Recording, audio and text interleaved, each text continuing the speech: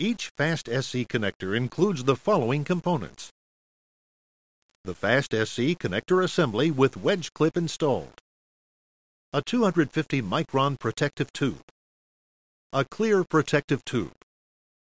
A 3 millimeter boot. A 2 millimeter boot.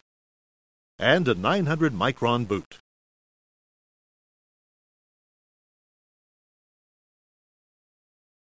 Warning. Always wear eye protection when handling optical fibers. Dispose of any cut or cleaved ends properly.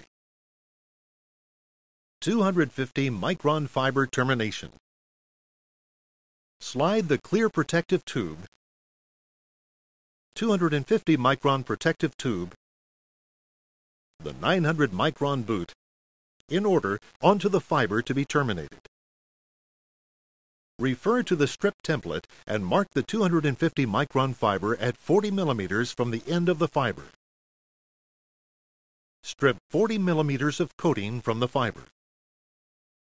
Check the fiber integrity by bending the stripped end slightly at 60 degrees.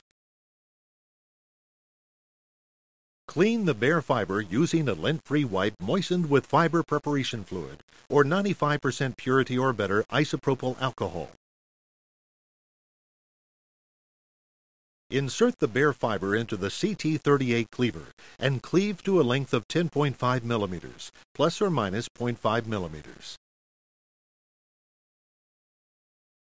The wedge clip is engaged at shipment.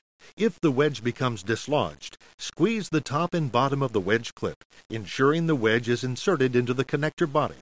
A click will be heard. Slide the 250 micron protective tubing to the end of the fiber coating. Option A. Termination without the use of a visual fault identifier. Insert the fiber slowly into the rear of the connector until a connection is made. Make a bend in the fiber to maintain the connection. Squeeze both sides of the wedge clip to release the wedge. Discard the wedge clip. Slide the 900 micron boot onto the connector. Slide the clear protective tube toward the connector and attach it to the 250 micron protective tube. Termination is now complete. Option B. Termination using a visual fault identifier. Remove the dust cap from the fast connector and insert the connector into the VFI.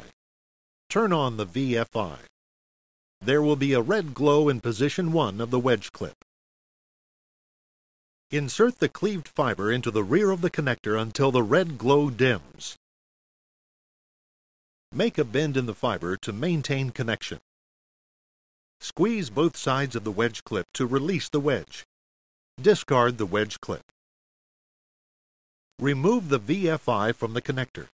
Place the dust cap back onto the connector. Slide the 900 micron boot onto the connector.